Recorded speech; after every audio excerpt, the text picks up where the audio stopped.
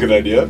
Yeah, just kind of like uh, fucking uh, Led Zeppelin vibes. That's why I saved the John Paul Jones picture for this one. Did you? Yeah, of course. What else would you put on? Oh,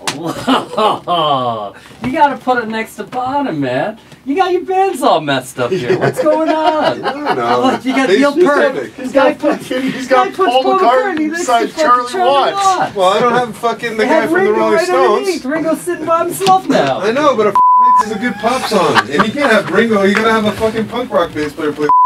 doing? Neil Peart was at the bottom there. You got you got Geezer Butler next to Neil Peart. Your drummers are all mixed up. Oh, There you go. Yeah, this song is just fits everything with my style. can we try something else? Yeah.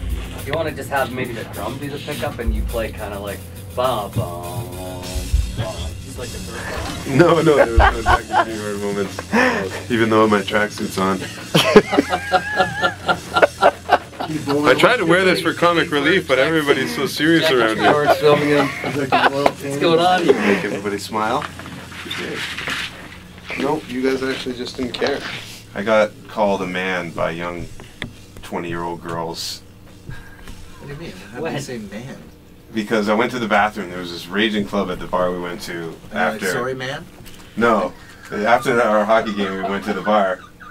And in the basement, it's like kind of like a cock and pheasant thing where there's all these 19 and 20 year old kids just getting smashed. Let's Yeah. playing pool and stuff like that.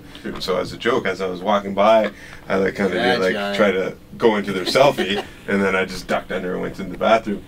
And then I overheard somebody come up and say, "Oh, somebody in the bathroom," and like, "Yeah, some man is in that bathroom." Some man. I'm like, man. Oh. That means they think like I could be their dad's They buddy. didn't even say You're- guy. Yeah, not a Like, guy. He was a man. man. Oh, Yeah. that means you're a man. Your chaperone.